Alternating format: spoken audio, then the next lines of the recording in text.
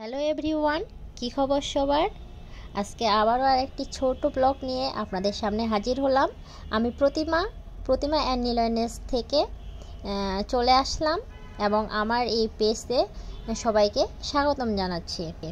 আর video শুরুতেই একটা কথা বলে রাখছি, আমার ভিডিওর কোথাও কোনো অংশ যদি আপনাদের ভালো লেগে থাকে প্লিজ একটা লাইক দিয়ে কন্টিনিউ করবেন।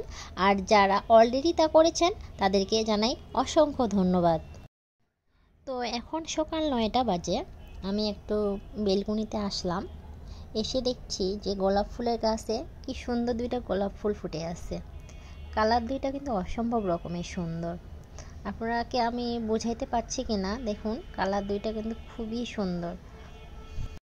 তো আমাদের বাসাতে সকালের দিকেই বা আটটার মধ্যে আমরা চা বা বিস্কিট খেয়ে নিই। তারপর যখন দশটা বা সাড়ে দশটার মধ্যে আমরা রুটি বা পায়েস বা যা থাকে একটু হেভি জিনিস খাইয়ে নিই তো রীতিমতো আমি ফ্রিজ থেকে আগে পায়েসটা বের করে নিলাম। এটা আলাদা করে রাখতেছি, যেটা হচ্ছে সকালের দিকে খাব। তারপরে বাকিটুকু আমার, আমি আবার ফ্রিজে রেখে দেব। তো এরপরে কিছু আমি রুটি ভেজে নিব, যেটা আমরা হচ্ছে সকালে হচ্ছে নাস্তার জন্য খাব। এর পাশাপাশি মা কিছু হচ্ছে মুগের হচ্ছে পুলি পিঠা বের করে রাখছে আগেই যেটা হচ্ছে আমরা সকালে খাব। রুটি ভাজবো আজকে একটু ভিন্ন আঙ্গিকে জলের সাথে আটাটা মিক্সড করে ওর মধ্যে লবণ দিয়ে নিয়েছি। তারপরে জাস্ট এইভাবে ভেজে নিব আমি একটার পর একটা। এর পাশাপাশি আমি কিছু কথা আপনাদের সাথে শেয়ার করতে চাচ্ছি, যেটা হচ্ছে আমার সাথে হয়েছে।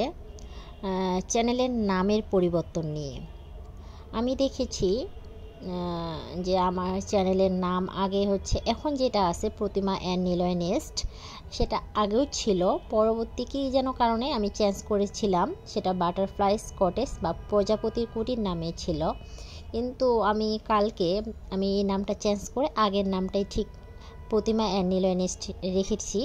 কিন্তু এর কারণে যে বড় ভুলটা আমার হয়েছে, সেটা হচ্ছে যে অনেক সাবস্ক্রাইবার আমাকে আনসাবস্ক্রাইব মানে অনেক বন্ধু যারা আমার ছিল, সবাই আনসাবস্ক্রাইব করে আমাকে চলে গেছে।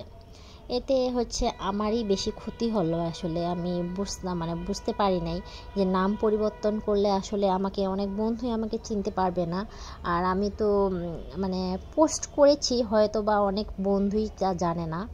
তো এতে আসলে যে ক্ষতি হয় সেটা আসলে আমি বুঝি নাই। তো এটা একটা আমার শিক্ষা হলো।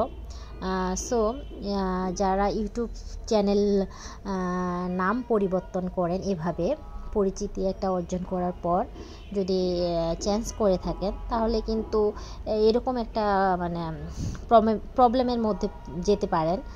সো আমার মনে হয় যে চ্যানেলের নাম এভাবে পরিবর্তন করা উচিত না।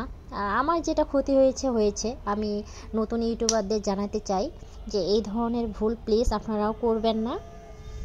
আপনারা দেখতে পেলেন যে, আমি কয়েকটা রুটি ভেবে ভেজে নেওয়ার পরে আমরা হচ্ছে সকালে নাস্তা শেষ করেছি। তারপরে আমি আর ভিডিও করি নাই। একেবারে আসছি রাত্রেবেলা। তো রাত্রেবেলা আমার হাজব্যান্ডের হচ্ছে ফ্রেন্ডের বন্ধুর বিয়ে। তো আমি, আমার ফ্যামিলি সবাই যাচ্ছি শুধু আমার হাজব্যান্ড যাচ্ছে না। যে কারণে যেতে পারছে না। আমার হাজব্যান্ড যেহেতু দেশের বাইরে থাকে, তো এই কারণে সে আসলে তার বন্ধুর বিয়েতে অ্যাটেন্ড করতে পারছে না।